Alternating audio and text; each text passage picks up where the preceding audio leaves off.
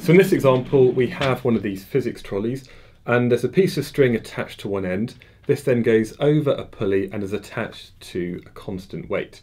Now what that means is there's going to be a constant force causing this to get faster. Now we've always got to consider what the start point is going to be. So we'll say that the start point is when the piece of string is just being held over the edge of the bench and nothing is moving. So that's going to be the start point. The end point is going to be when the weight actually hits the floor.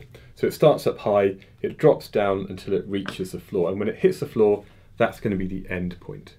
Now at the beginning, when nothing's moving, all of the energy is stored in the gravitational potential energy store of the weight.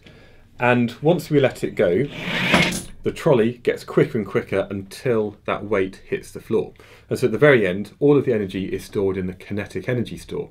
And we're going to assume here there's no losses to the surroundings, so no heating effect at all. And what's the transfer process? Well, again, what we have is a force acting over a distance in order to get this uh, weight to accelerate towards the ground, and therefore we once again have a mechanical transfer. Now, for the next example, uh, we're going to be looking at the energy transfers and stores when a vehicle is slowing down. The vehicle in question is a mountain bike. I'll see you in a minute.